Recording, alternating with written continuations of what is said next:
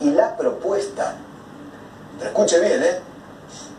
Hablan de vas a cobrar tanto, vas a dejar tanto, vas el día que vayas a cobrar, vas a llevar un sobrecito.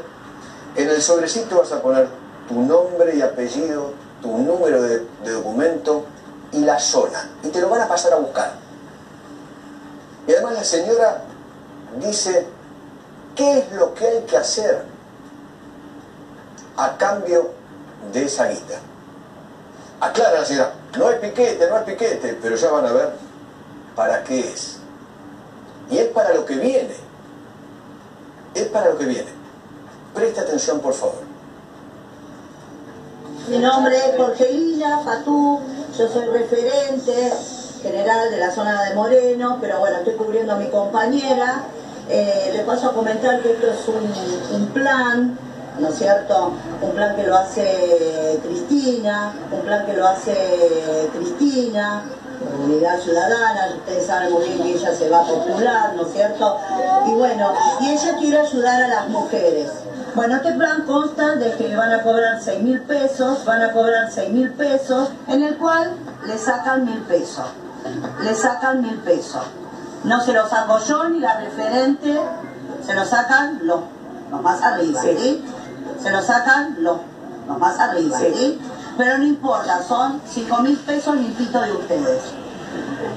Los primeros dos meses van a ser 6 mil pesos en el cual le sacan mil. Después van a pasar a 9 mil pesos. Después van a pasar a 9 mil pesos. 9 mil que también le van a sacar mil pesos.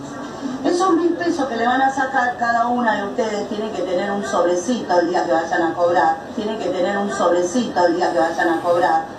Y en el cual le cruza el nombre, apellido y número del documento y el distrito. Ustedes en todo caso acá sería Pilar. Ustedes ponen Pilar. Porque va para la referente.